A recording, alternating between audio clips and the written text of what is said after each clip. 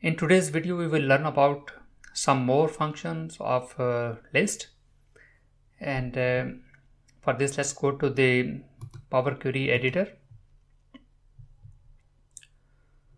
So here you can see you already are familiar with this table.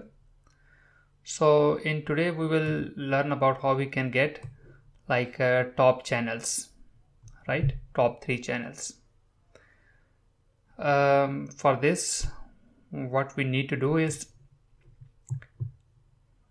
we will just create one list here. The list will be based on total revenue. So how we can create list? We just need to click fx and uh, here we have to provide the column name total revenue that's it. And uh, here you can see this is the list of uh, total revenue.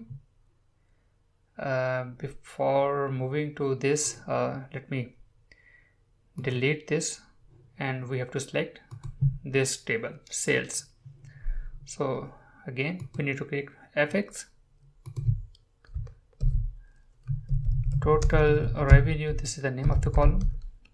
So we have this list right? And now we need to know the top three record from this list. So what we have to do is first we need to do sorting in descending order. So because uh, this is a list this uh, expression is returning us a list. So we need to write one function here list dot sort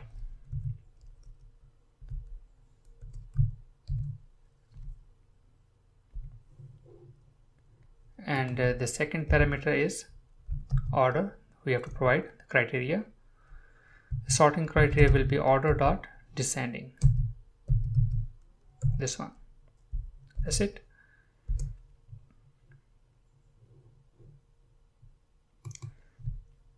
So typo problem. Order dot descending this one. So here you can see we are getting the complete list in descending order so now we need only top three record.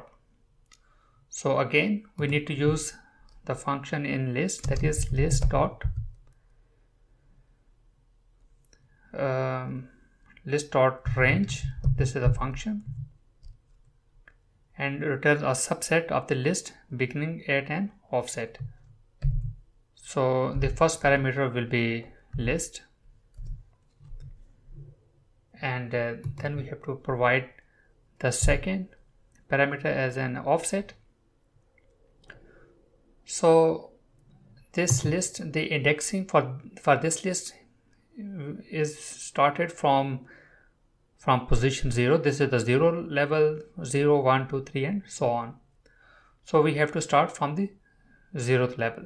So for this we need to write 0 and then we need to provide the third parameter that how many records or how, how many rows we need. So how many rows we need? We just need three rows. So just write three. So this is the complete um, expression.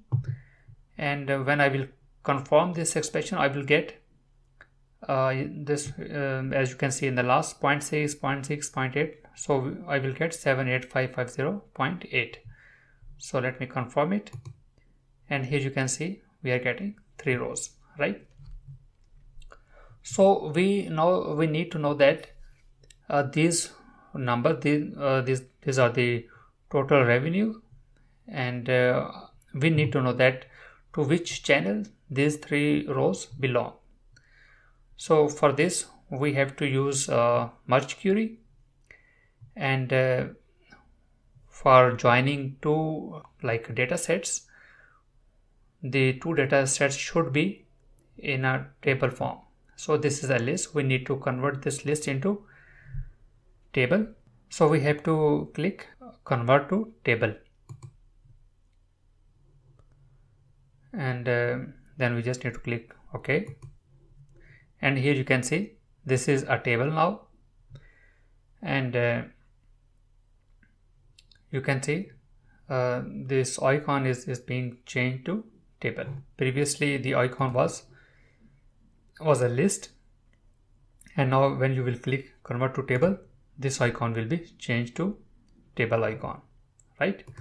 So now we have uh, this table. And uh, let's try to click now, now we need to click merge query as new. Because we don't need to merge uh, our result within the same table so we will make a new table right? So here we have to choose the our table sales and we have this column. We need to we need another table. The other table will be the sales order for example. Sales order. And uh, we need to click this uh, column header. And uh, then we need to uh, make a left outer join with total revenue this one right? So we will get all the rows from this col column and then we will get all the matching rows from the sales order.